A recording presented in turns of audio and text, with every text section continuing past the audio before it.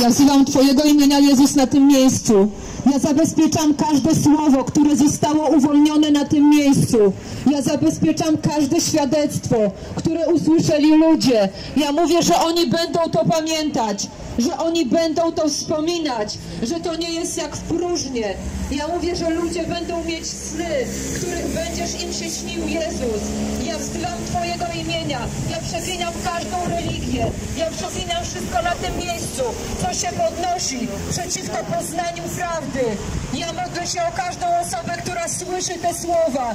Niech to przeszywa serce. Ja mówię, że uszy ich są otwarte, że oczy widzą, że nie zamykają się na prawdę. Ja mówię, że oni słyszą o Jezusie, Tobie prawdę, że ta prawda dotyka ich serc. Niech oni to słyszą, niech oni o tym myślą, niech rozmyślają, niech nie daje to ludziom spokoju. Ja związuję każdą religię, która wykrzywia Twój obraz i powoduje, że ludzie nie poznają Ciebie, powoduje, że ludzie Ciebie nie szukają. Ja mówię, że Twój obraz dociera do nich prawdziwy, że oni rozumieją, że umarłeś za nich na krzyżu, ale że grób jest pusty, że zmartwychwstałeś i że jesteś Synem Bożym, który oddał za nich życie, który żyje i panuje, że na swoje imię Jezus na niebie i na ziemi wszystko zgina kolano, że wszystko zgina kolano, że diabeł jest pokonany, że śmierć jest pokonana, że żadna choroba nie ma prawa, bo Ty się na krzyż.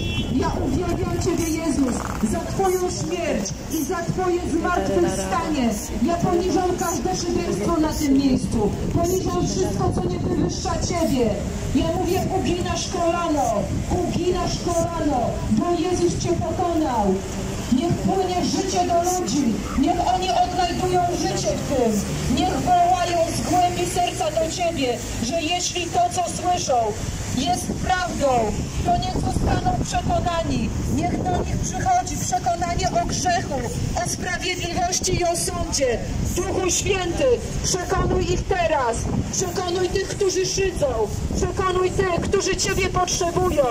Ja modlę się o synów pokoju na tym miejscu. Każdy, który szuka Ciebie, niech przyjmie te słowo. Niech przyjmie te słowo. Niech ono wykona pracę w nim. Niech znajdzie Ciebie.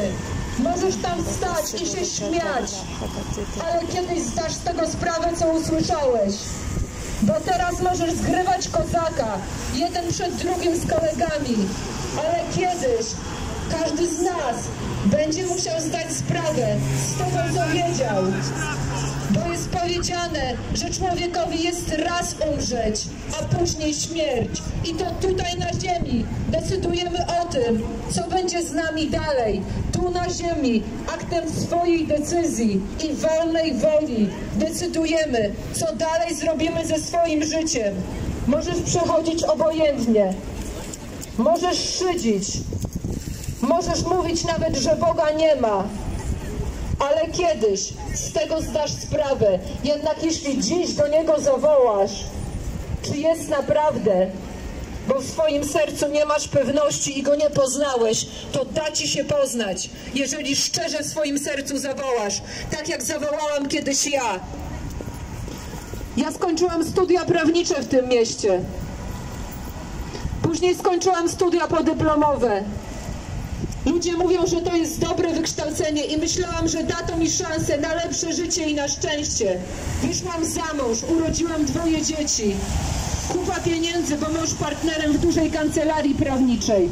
Ale wewnątrz siebie ciągle czułam, że mi czegoś brakuje. Myślałam, że pewne rzeczy można kupić. Nie można. Później miałam guza w piersi. Takim momencie też, jak wy teraz słyszycie, usłyszałam słowa Ewangelii. I w mojej głowie wszystko mówiło, że to jakaś bzdura, jakaś mowa o Jezusie. Przecież ja tyle wiem i tyle mam. I tak jak wy teraz słyszycie, miałam ochotę się odwrócić tyłem. I myślałam, co? Jezus? Choć całe moje serce wołało, że to prawda. To myślałam sobie, ale jak? Jak ja powiem znajomym, że ja jednak uwierzyłam temu Jezus, Je- Jezusowi?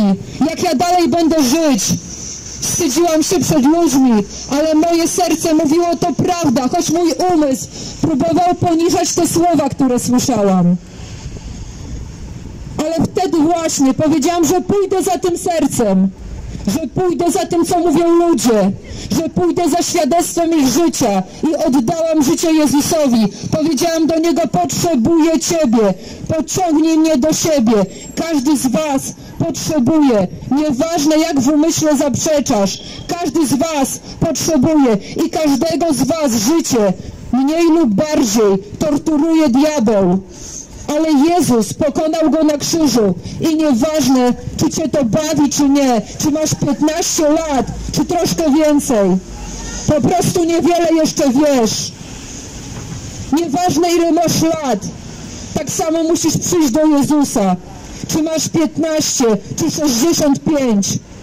Zbawienie jest dla każdego i w każdym wieku dla każdego i za darmo.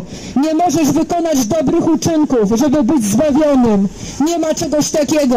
Jezus powiedział, że jest to za darmo przez wiarę. Po prostu musisz uwierzyć w Jezusa. Nie ma innej drogi. I każdy z nas tak narodził się z Bożego Ducha. I jest to także dostępne dla Was. Jest to dar przez wiarę i nie ma innej drogi, a Bóg jest ten sam, jak wtedy, co chodził po ziemi i te same poselstwo. Mówię do was ja. I wy decydujecie, tak jak kiedyś ludzie, którzy go słyszeli, czy wierzycie, czy nie. Położyłam swoje ręce na chorej kobiecie, miała guza na kości, zniknął guz. Przyszła do mnie i mówi, Pani Julito, nie mam guza. Położyłam ręce na kobiecie, która nie mogła mieć dzieci urodziła córeczkę. Taki jest Bóg. Modliłam się o kobietę, która miała do operacji rzepkę. Pojechała na drugi dzień do lekarza i powiedział, że nie trzeba robić operacji. Modliliśmy się z mężem o mężczyznę, który po zawale serca był w śpiączce i lekarze powiedzieli, że w ogóle mu nie pomogą, bo jest rośliną. Ten człowiek się obudził i wszystko pamięta. Miałam guza w piersi, zostałam uzdrowiona. To jest taki Bóg. Może masz depresję, nieuleczalną chorobę, może masz raka, a może znasz kogoś, kto jest chory, to znajdź nas, nazywamy się Kościół Mocy, pomodlimy się o tę osobę i będzie zdrowa. Nie musisz chodzić w swoich ciężarach, nie musisz chodzić chory, bo Jezus pokonał każdą chorobę i każdą śmierć. Może jakiś człowiek związał Twoje życie. Jeżeli to słyszysz i jest to słowo do Ciebie, to nie zatwardzaj swojego serca. Bóg chce dotknąć Twojego życia, chce, żebyś Go poznał i żebyś się z Nim spotkał. Ale Ty w swoim sercu musisz podjąć decyzję, co zrobisz, tak jak zrobił to każdy z nas. Nazywamy się Kościół Mocy. Możecie nas znaleźć w internecie, na YouTubie, na Facebooku. Ja nazywam się Julita Korgol. Tam jest mnóstwo naszych świadectw. Realnego chodzenia z Bogiem. Bóg jest realny, doświadczalny dla każdego człowieka. Także dzisiaj. Zawołaj do Niego z głębi swojego serca, że chcesz Go poznać. A da Ci się poznać. I nigdy już nie będziesz mógł powiedzieć, że Boga nie ma, bo On da Ci się poznać i będziesz miał z Nim relację, jeżeli tego zapragniesz. Nie zatwardzajcie swoich serc, bo to, co słyszycie, to jest mowa o Jezusie, o żywym Bogu, który oddał swoje życie za was, po to, żebyście wy mogli żyć. Ale w grobie Go nie ma, On zmartwychwstał. I to jest Bóg, który żyje. Zawołajcie do Niego, że chcecie Go poznać, a Go poznacie.